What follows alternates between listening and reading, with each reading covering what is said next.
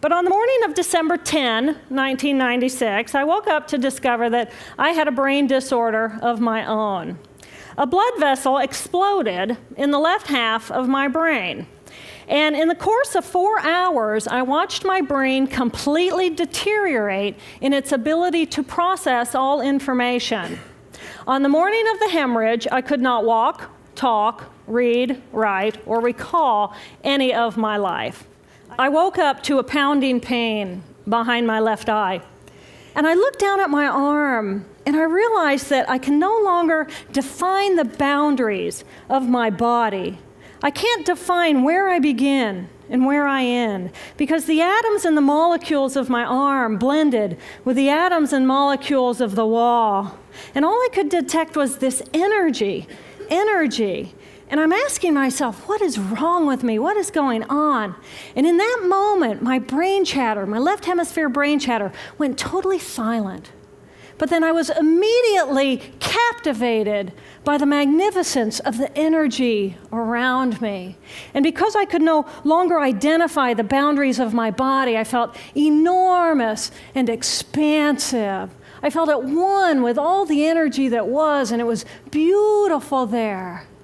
And then all of a sudden, my left hemisphere comes back online and it says to me, Hey, we got a problem. We got a problem. We got to get some help. And I'm going, Oh, I got a problem. I got a problem. So it's like, Okay, okay, I got a problem. But then I immediately drifted right back out into the consciousness. And I affectionately refer to this space as La La Land.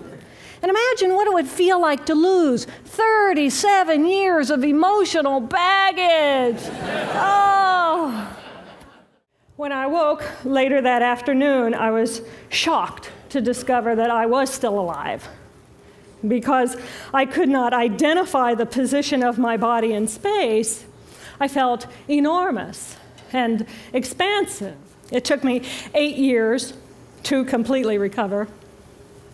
So, who are we? We are the life force power of the universe with manual dexterity and two cognitive minds.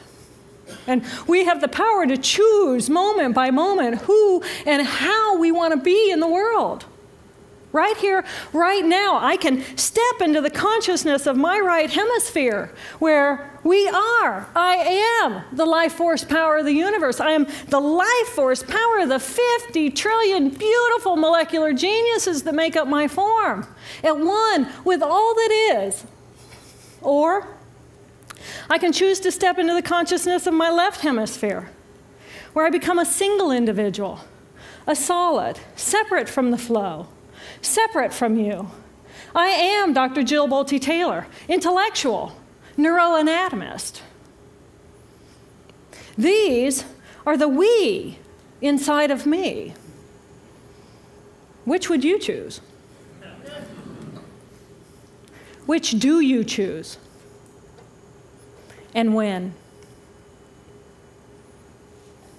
I believe that the more time we spend choosing to run the deep inner peace circuitry of our right hemispheres, the more peace we will project into the world, and the more peaceful our planet will be.